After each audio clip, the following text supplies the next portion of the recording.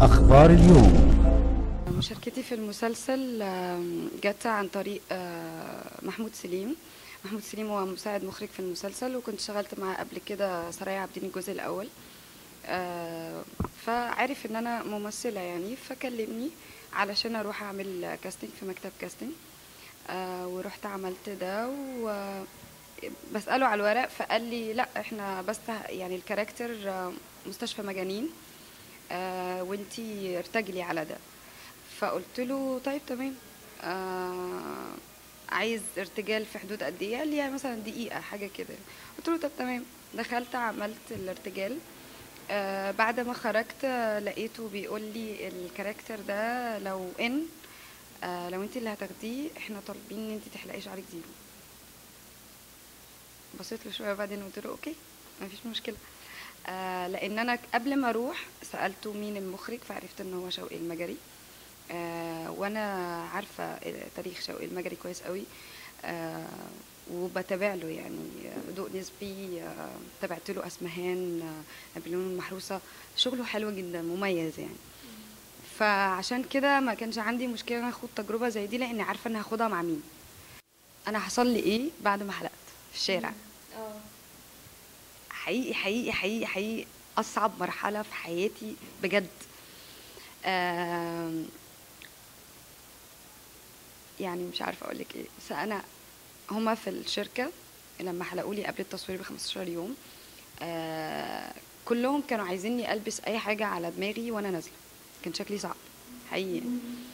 فكانوا ال stylist غدا وفي عمالين بيدوروا لي على أي حاجة أعملها أحطها عشان أعرف أنزل الشارع. فأنا كان في في شتاء وكان معايا جاكيت كده وفي كابيشون فلبسته شوية ونزلت من الشركة عشان هم يهدوا يعني. لكن أنا كنت حابة أشوف رد فعل الناس. آم، كنت متخيلة إنه هيبقى صعب بس مش الدرجات بصراحة. آه نزلت ومبدئيا أول حاجة ما كانش فيه تاكس راضي يقف- لي بسهولة خالص عشان شكلي غريب. آه بعدين آه اخدت تاكس نزلت زمالك. آم، فبتمشى عادي.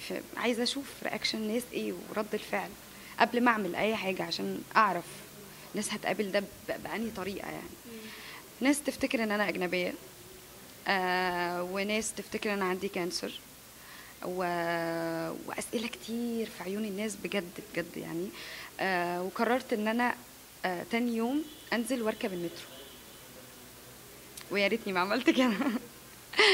آه مبدئيا الناس اللي كانت حتى في المترو الناس اللي كانوا بيفتكروا إن أنا أجنبية كانوا بيقعدوا يتكلموا ويشتموا و... و... وأنا سامعة وفاكريني مش فاهمة عربي. آه وناس تانية لحد الأطفال.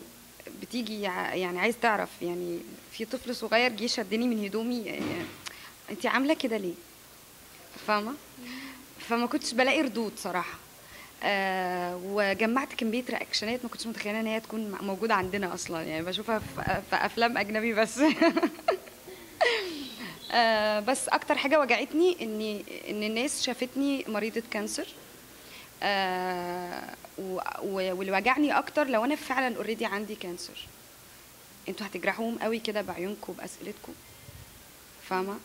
دي دي دي أكتر حاجة بجد وجعتني إن كل الناس بت- بتبص للشكل الخارجي ولو في حد عنده آه عنده حاجة غريبة زي مثلا آه آه، المرض المغولي مش عارفة أمراض كتير قوي زي العمي زي, زي.